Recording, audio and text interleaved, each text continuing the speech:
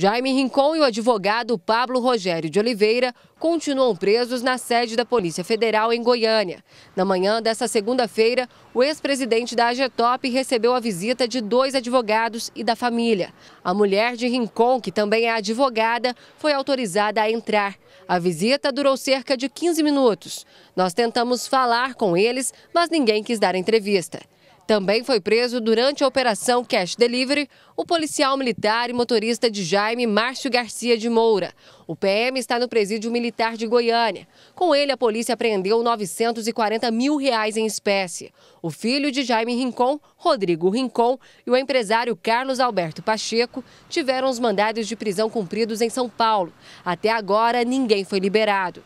A prisão temporária dos cinco investigados vence nesta terça-feira. Enquanto isso, a defesa trabalha para conseguir um habeas corpus antes do fim do prazo. Neste domingo, o desembargador federal Cássio Marques indeferiu durante o plantão o pedido de liminar para Jaime Rincon, o filho dele, e também o empresário Carlos Alberto Pacheco.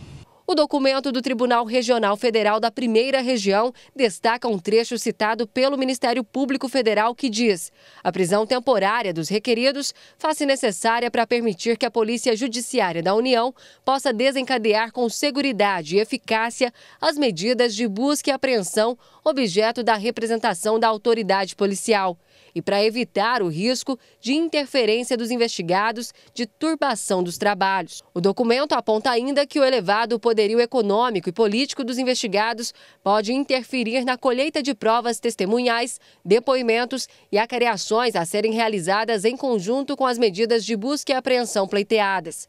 Os cinco presos são investigados por participar de um esquema montado para receber propina da empreiteira Odebrecht.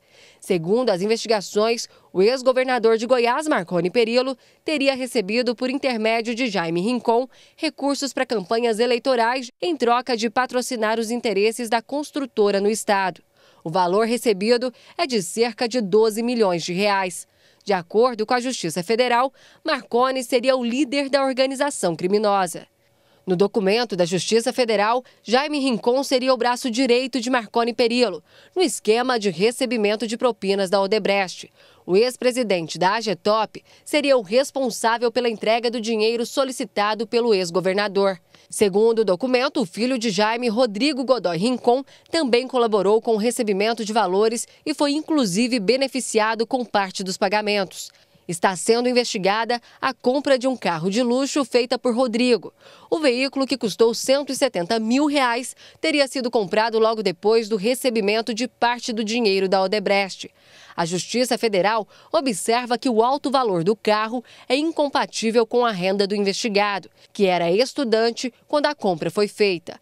Parte da propina que seria destinada para a campanha de 2014 do governador Tucano teria sido usada por Jaime Rincon para tratamento médico do filho.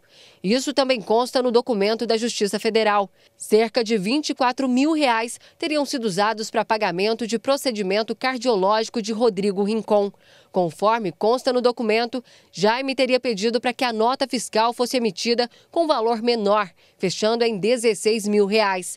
Segundo as investigações da Polícia Federal, essa seria a maneira usada pelo então presidente da AGETOP para ocultar a origem dos recursos. A defesa de Rincon alega que as acusações são antigas e que não existem fatos novos que justifiquem a prisão.